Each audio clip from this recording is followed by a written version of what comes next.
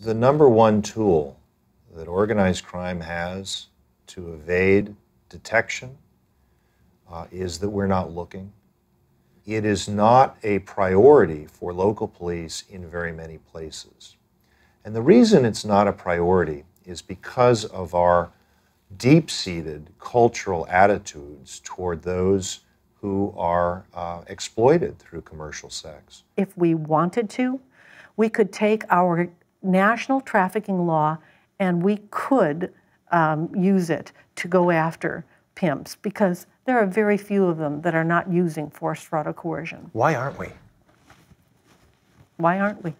My experience is that if the police wants to find out where prostitution takes place, where traffickers operate, where they sell the women, they can find out if they want to.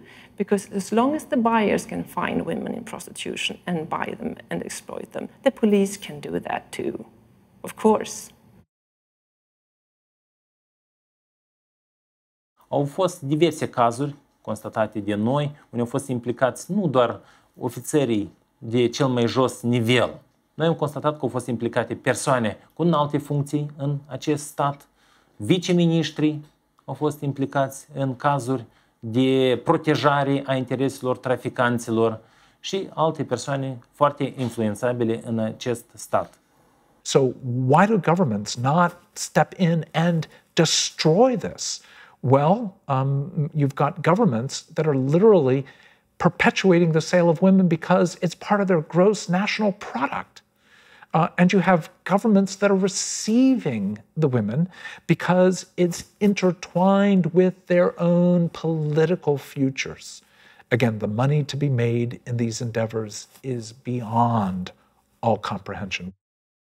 Ea fiind îndrăgostită, a fost dusă în Moscova, într-un apartament în care lucrau deja în calitate de prostituate alte 30 de fete.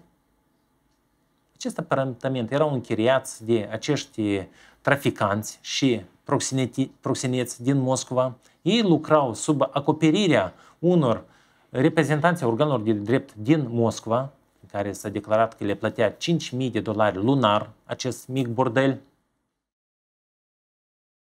Do police ever come as customers?